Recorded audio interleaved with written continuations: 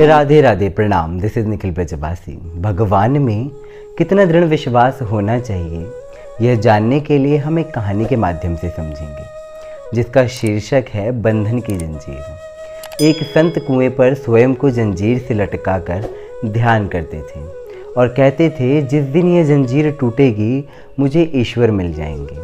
उनसे पूरा गाँव प्रभावित था। सभी उनकी भक्ति और उनके तप की तारीफ़ करते थे। एक व्यक्ति के मन में यह इच्छा हुई कि मैं भी ईश्वर के दर्शन करूँ। वह भी कुएँ पर रस्सी से पैरों को बांधकर कुएँ में लटक गया और कृष्ण जी का ध्यान करने लगा। थोड़े समय बाद जब रस्सी टूटी, उसे कृष्ण ने अपनी गोदी में उठा लिया और दर्शन भी दिए। तब व्यक्ति ने पूछा, आप इतनी जल्दी मुझे दर्शन देने क्यों चले आए?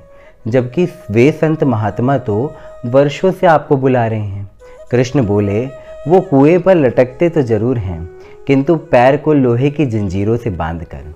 उन्हें मुझसे ज़्यादा उस जंजीर पर विश्वास है।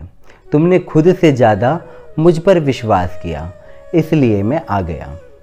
आवश्यक नहीं कि दर्शन में वर्षों लगें, आपकी शरणागति आपको ईश्वर के दर्शन अवश्य कराएगी और शीघ्र ही कराएगी। प्रश्न केवल इतना है, आप उन पर कितना विश्वास करते हैं? राधे राधे।